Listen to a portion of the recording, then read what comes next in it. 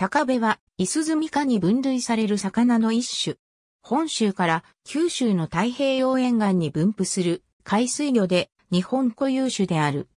夏の季語和名の由来は、漁師用語で岩礁を意味する高に魚を意味する設備樹である目をつけたものと考えられている。その名の通り、主に沿岸域の岩礁地帯に生息する。その他に、伊豆半島で、釈迦、高知県柏島で、弁と鹿児島県でホタなどの呼び名がある。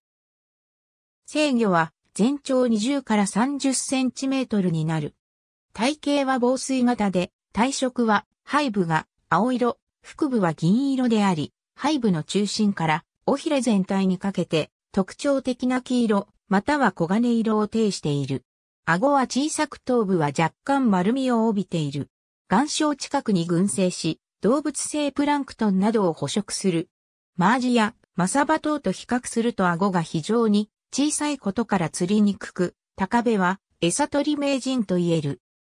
高部2018.6、14鹿島郊外圏が似ていることからしばしば梅色と混同されるが、梅色パラキツヨザンサラは、鈴木木笛大科に属する別種の魚である。